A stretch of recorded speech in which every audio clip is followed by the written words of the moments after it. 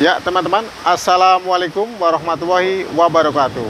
Kembali lagi di channel Dunia Servis Elektronik. Di kesempatan hari ini saya ada kerjaan ya Untuk servisan TV LED Mereknya LG, modelnya 43 LF540T Kerusakan TV ini Untuk indikator powernya ini menyala tetapi kedip-kedip. Dan untuk lampu backlightnya juga menyala ya tetapi kedip-kedip juga Ya teman-teman, sebelum lanjut untuk proses perbaikan TV LG, teman-teman jangan lupa ya untuk like, share, komen, dan subscribe, dan tonton videonya sampai selesai, supaya teman-teman tidak ketinggalan informasi di channel Dunia Servis Elektronik mengenai cara perbaikan TV LG 43 in, modelnya 43 LF540T. Langsung aja bongkar TV-nya.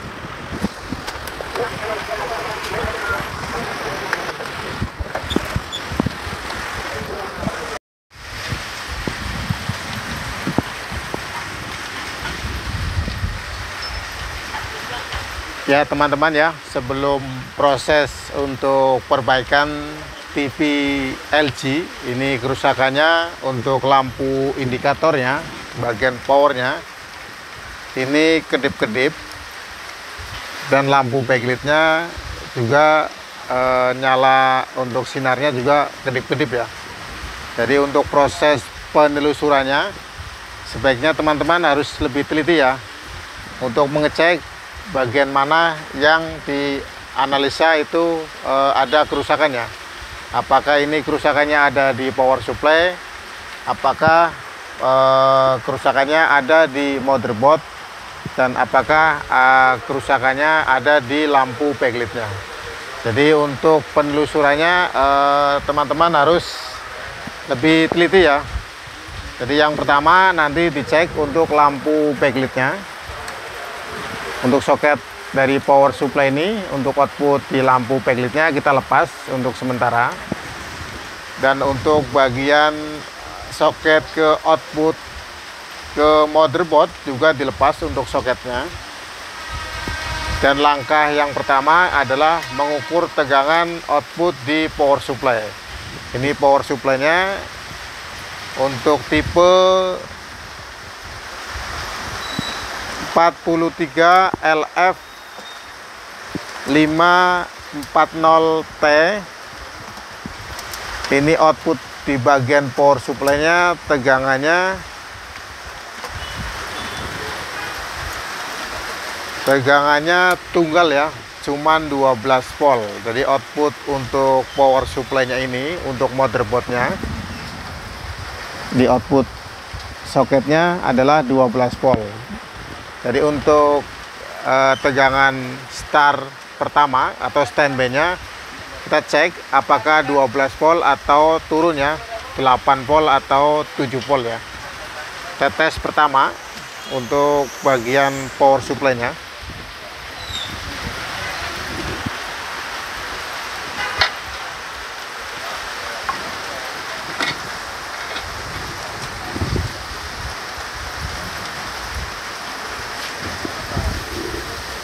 kita tes untuk output bagian power supply nya untuk tegangan standby nya gunakan tester dengan skala DC untuk pengukuran tegangan DC posisi skalanya ada di 20 atau di 200 ya. Kita tes untuk output power supply nya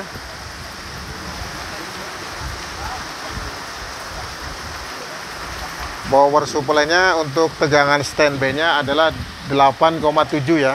Ini sebelum masuk ke motherboard.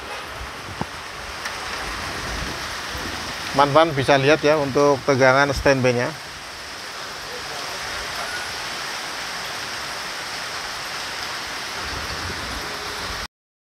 Kita cek lagi teman-teman ya untuk tegangan DC outputnya di power supply ini. Untuk tegangan standby nya kita cek. Nah ini teman-teman ya tegangannya 8,7 volt.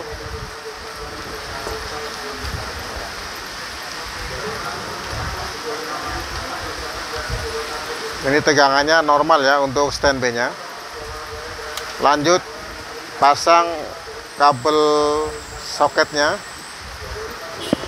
di bagian untuk power supply motherboard ya kita pasang ini setelah pasang kita tes lagi apakah tegangannya ngedrop atau menjadi 12 volt.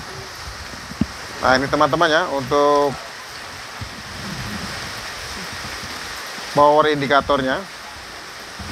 Ini sudah tidak kedip-kedip lagi ya kita tes lagi untuk tegangan output standby nya yang tadi 8 volt kita ukur lagi. Nah ini teman-teman ya tegangannya sudah normal 13 artinya untuk bagian power supply nya ini normal ya. Untuk bagian power supply normal. Kita tes untuk mengetahui apakah motherboardnya sudah aktif atau belum. Ini kita eh, mesinnya untuk tombolnya. Tombolnya tidak aktif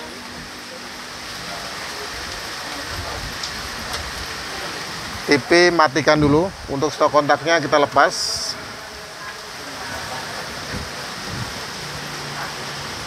Pasang lagi. Kita lihat untuk indikatornya di bagian sini. Langsung aja teman-teman ya. Kita tes. Nah itu. Untuk standby nya sudah bisa aktif. Artinya untuk motherboardnya sudah bekerja ya. Atau sudah aktif untuk mengecek apakah motherboardnya sudah aktif atau belum kita tes untuk bagian tegangan output di mesin Ticon ya atau di mesin timing control ya untuk panelnya. Kita tes untuk tegangannya. Tegangan aktif di Ticonnya kita tes untuk PCC inputnya. Masuk ya teman-teman ya 13 volt. Artinya ini untuk motherboardnya normal ya untuk motherboardnya normal power supply normal kita tes lagi untuk data di bagian tikonnya. Antara tegangan PGH nya untuk data tegangan di tikonnya. Untuk tegangan PGH nya terdeteksi atau terukur.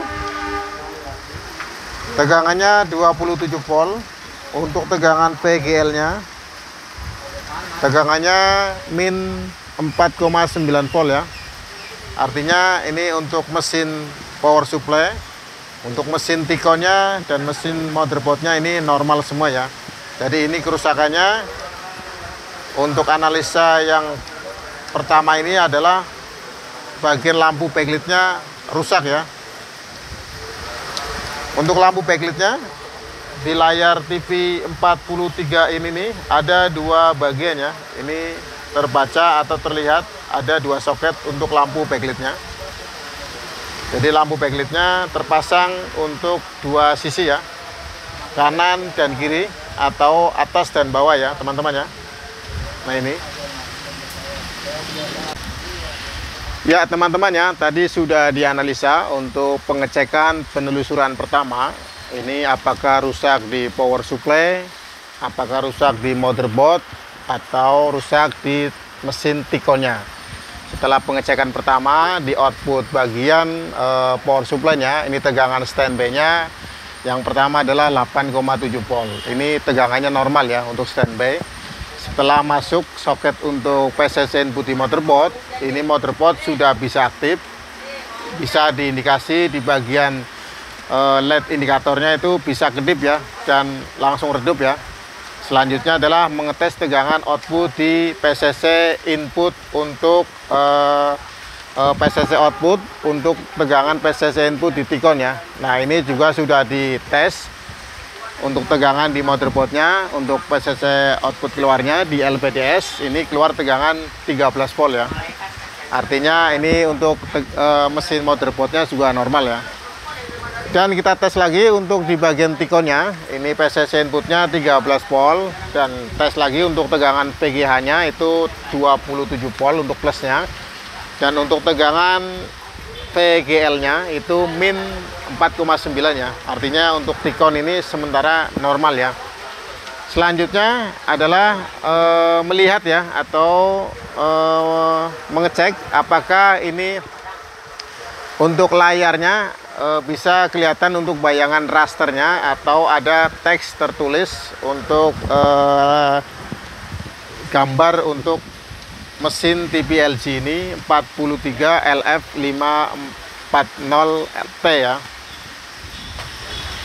Nah untuk kesimpulannya sementara adalah lampu backlightnya ini ada yang rusak ya atau ada yang mati. Salah satu di bagian lampu backlightnya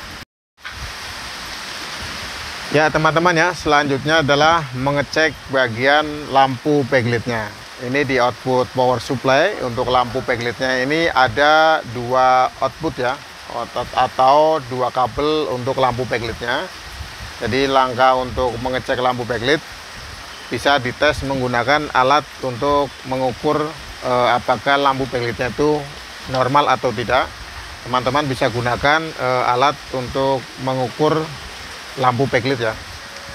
Untuk mengukur lampu backlight saya gunakan eh, alat sederhana ini yaitu menggunakan dua trafo yang sudah dirakit sendiri ya.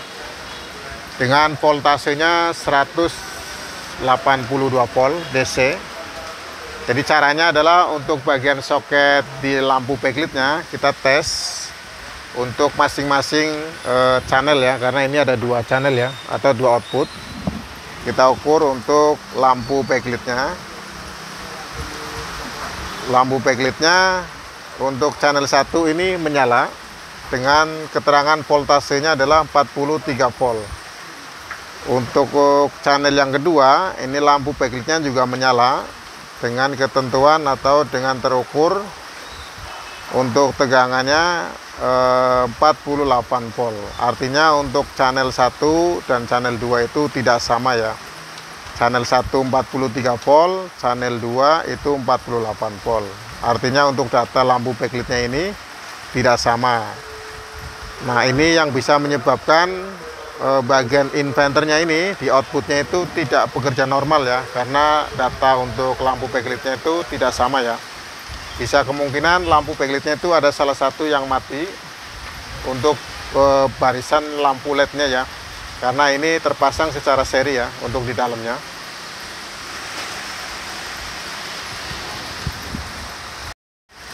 Nah ini teman-teman ya cara untuk mengecek untuk lampu backlightnya teman-teman bisa gunakan alat untuk mengetes backlight ya ini caranya ini dengan output power supply nya adalah 182 volt DC ini output untuk bagian lampu backlightnya kita tes. Lampu backlight pertama atau channel pertama ini tegangannya terukur 43 volt. Nah itu teman-teman ya 43 volt.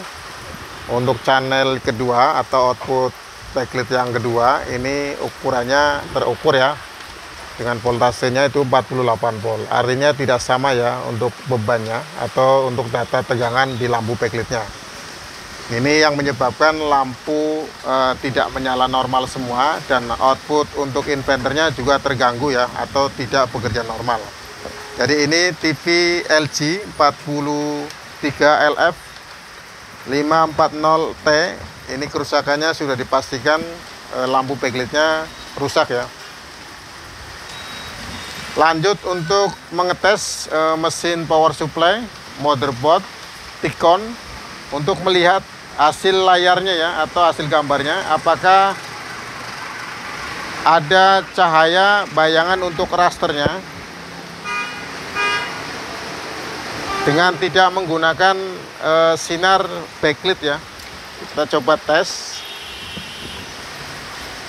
Ya itu tadi teman-teman ya cara untuk menganalisa ya penelusuran kerusakan TV LG. Yang pertama dari proses pengecekan power supply untuk tegangan outputnya dan mengecek untuk tegangan output di motherboardnya untuk tegangan tikonnya dan mengecek bagian tegangan tikon ya bagian PGH dan PGL-nya dan mengetes untuk bagian pengecekan lampu backlightnya ini sudah diukur ya untuk pengecekan lampu backlightnya itu salah satu ada yang tidak normal ya. Tegangan yang output pertama itu tegangannya 48 eh, 43 volt terdeteksi. Dan untuk output lampu backlightnya kedua adalah 48 volt. Selanjutnya eh, sebelum mengganti lampu backlight yang rusak ini teman-teman bisa dicek terlebih dahulu ya apakah dengan mesin power supply, motherboard, dan tikonnya ini terdeteksi tadi normal untuk tegangan PGH dan PGL-nya. Kita cek untuk hasil gambarnya, apakah ada bayangan atau raster atau muncul logo LG-nya atau teks-teks yang lainnya. Kita tes teman-teman ya untuk lampunya, e, maaf untuk data layarnya.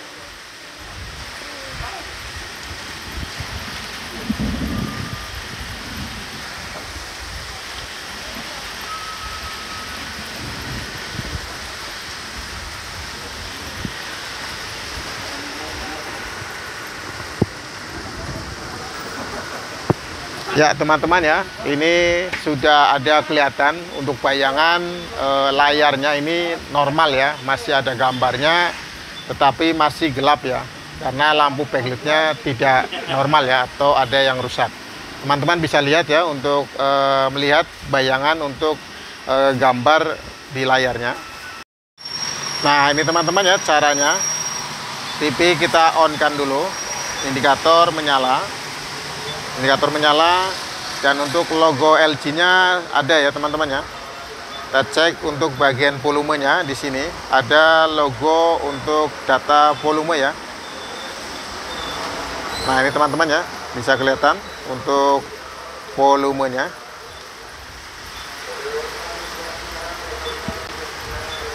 Nah itu teman-teman ya ada garisnya logo LG Nah ini teman-teman ya untuk eh, gambar volumenya ini kelihatan. Nah ini teman-teman ya bisa kelihatan itu. Artinya layar ini normal ya. Tinggal selanjutnya adalah mengganti lampu backlightnya. Ini lampu backlightnya ini tipe atau model 43 LF 540T. Ini modelnya LED baris ya atau LED strip ada dua biji atau dua batang. Untuk pemasangannya ada di sebelah uh, sisi kanan dan kiri ya.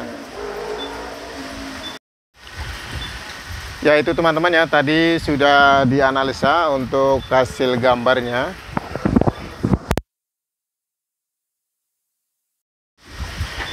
Ya itu teman-teman ya tadi sudah dites untuk hasil gambarnya. Jadi mengetes untuk bagian Eh, power supply, motherboard, mesin layar atau tikon ini kita tes uh, untuk melihat hasil gambarnya. Ini terdeteksi ada ya untuk logo LG-nya dan untuk lambang volume untuk pengaturannya juga sudah kelihatan ya.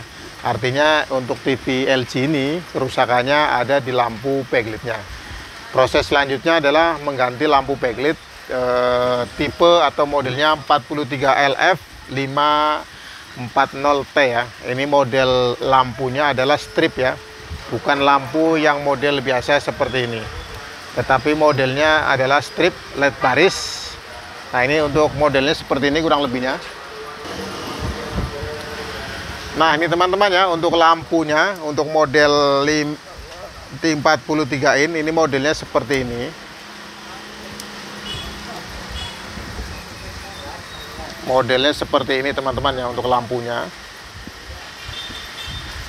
Lednya led baris strip ya. Ini ada dua baris yaitu ada dua batang ya.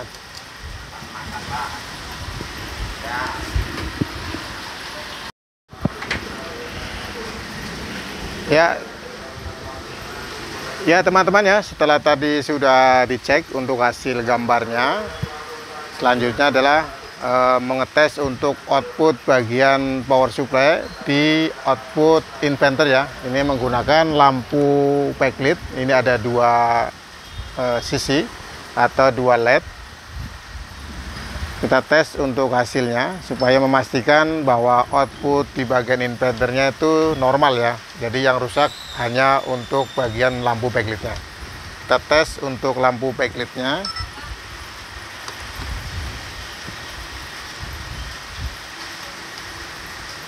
Indikatornya sudah on atau sudah aktif. Ini lampunya juga sudah menyala ya teman-teman ya. Nah ini lampunya sudah menyala. Artinya untuk power supply bagian inverternya ini outputnya normal ya.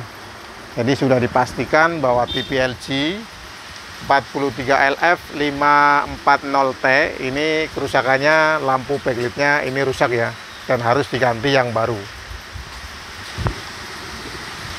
Ya teman-teman ya, semoga di video kali ini bisa bermanfaat buat teman-teman semuanya dan bisa membantu teman-teman dalam proses perbaikan TV LG. Ini modelnya 43 LF 540T dengan kerusakan eh, lampu indikator powernya itu kedip-kedip dan eh, untuk sinar lampu backlitnya juga kedip-kedip ya setelah dicek untuk bagian power supply, motherboard, dan mesin tikon. Nah ini sudah dianalisa. Setelah dicek untuk semuanya nah ini untuk kesimpulannya adalah kerusakan di lampu backlitnya. Ya teman-teman ya apabila ada tutur kata yang tidak sopan dan tidak berkenan di hati teman-teman saya minta maaf dan saya ucapkan terima kasih buat teman-teman sudah mendukung dan menonton konten channel saya channel Dunia Servis Elektronik. Sekali lagi, jangan lupa untuk like, share, komen, dan subscribe. Terima kasih. Assalamualaikum warahmatullahi wabarakatuh.